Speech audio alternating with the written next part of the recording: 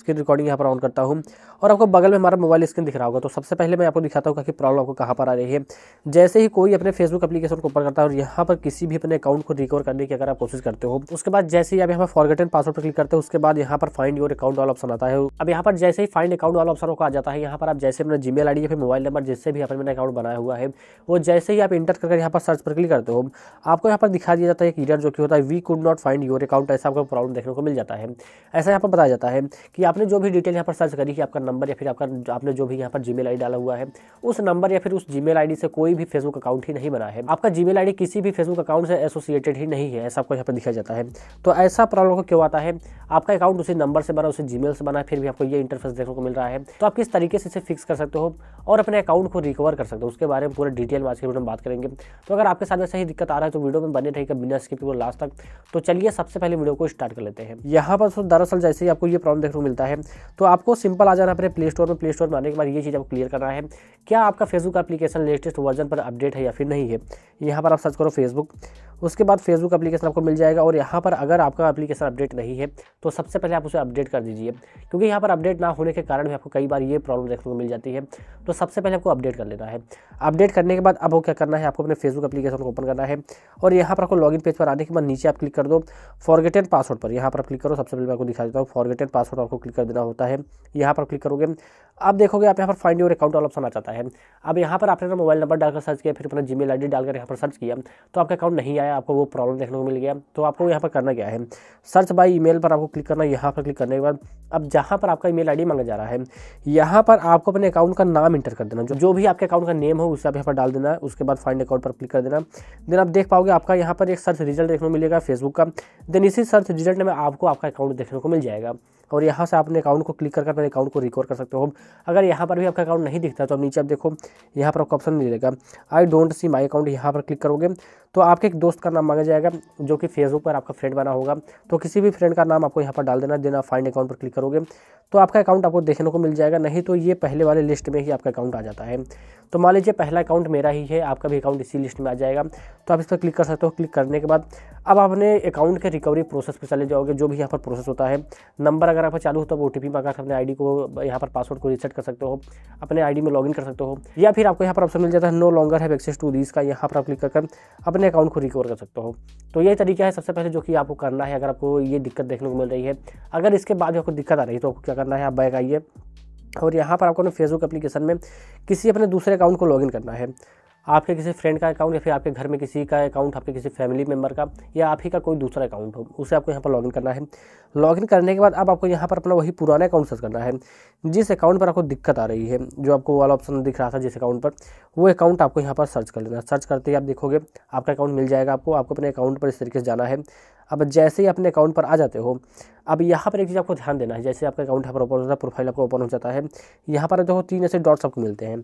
तो इन्हीं three dots पर आपको दोस्तों क्लिक करना, यहाँ पर आप क्लिक कर दोगे तो सबसे नीचे आपको यहाँ पर एक ऑप्शन देखने को मिल जाएगा, जो कि होगा योर प्रोफ़ाइल लिंक तो यहाँ पर क्लिक करोगे तो आपका जो प्रोफ़ाइल लिंक है वो यहाँ पर कॉपी हो जाएगा।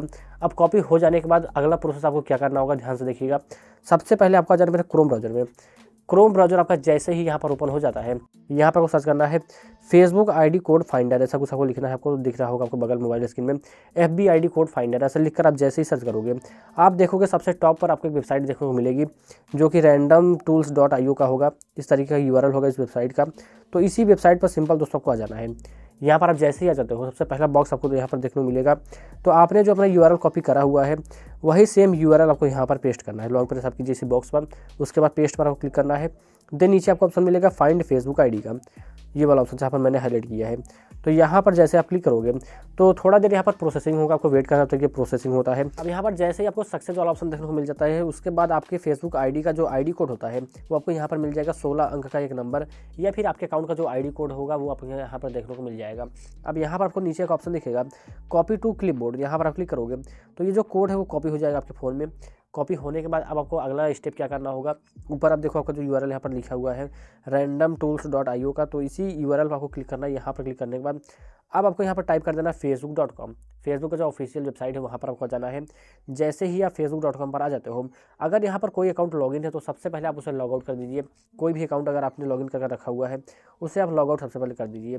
उसके बाद आप देखोगे, यहाँ पर आपको क्लिक करना होगा लॉग इंटू अनदर अकाउंट पर, यानी कि फेसबुक का जो लॉगिन पेज है, वहाँ पर आपको आ जाना है। अब जैसे ही फेसबुक का लॉगिन पेज यहाँ पर ओपन हो जाता है, ऊपर आप देखो, तीन ऐसे डॉट्स आपको यहाँ पर देखने को मिलते हैं आपके क्रोम में तो इन्हीं तीन डॉट्स पर आपको क्लिक करना है। यहाँ पर क्लिक करोगे देन सबसे नीचे डेस्कटॉप साइट वाला ऑप्शन यहाँ पर आपको मिल जाता है, ये वाला ऑप्शन तो यहाँ पर आपको दोस्तों आप क्लिक करना है, यहाँ पर क्लिक कर दोगे।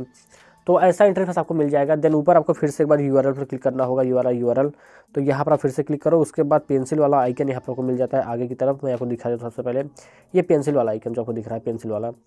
दिखाता हूँ पहले, रुको। तो ये देखो पेंसिल वाला आइकन तो इसी पेंसिल वाले आइकन पर दोस्तों को क्लिक करना है, यहाँ पर क्लिक कर दोगे। तो अब आप अपने यूआरएल को यहाँ पर एडिट कर सकते हो। एडिट आपको क्या करना है?